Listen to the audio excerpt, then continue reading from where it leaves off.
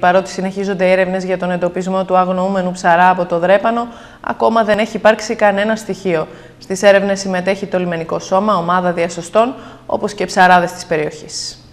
Ε, προχτές το βράδυ ενημερώθηκε η υπηρεσία μας ενημερώθηκε η υπηρεσία μας από τον πατέρα αγνοούμενου ψαρά, 29χρονου, ε, ότι αγνοείται. Είχε βγει για ψάρεμα από την Τετάρτη και την Πέμπτη το μεσημέρι δεν είχε ακόμα επιστρέψει.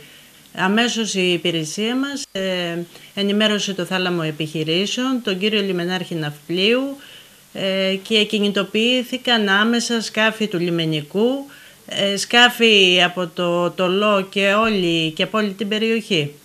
Ε, η βάρκα βρέθηκε χωρίς αυτόν, έτσι; Την Πέμπτη το απόγευμα στις Πέτσες μας ειδοποίησε το λιμεναρχείο Σπετσών ότι βρέθηκε το σκάφος χωρίς τον επιβαίνοντα.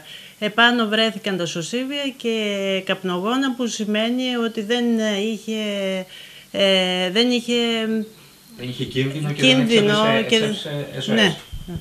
Ε, οι έρευνες μέχρι σε ποιο σημείο έχουν γίνει μέχρι Οι έρευνες ε, συνεχίζονται σε όλο τον αργολικό κόλπο, με αρνητικά όμως αποτελέσματα ακόμα. Θα επεκταθούν ίσως πιο, πιο μακριά; Σε όσο μεγαλύτερη ακτίνα μπορούμε. Ε, συμμετέχει και η ομάδα διασωστών. Διασωστών ε, και της Αργολίδας, αλλά και Αττικής.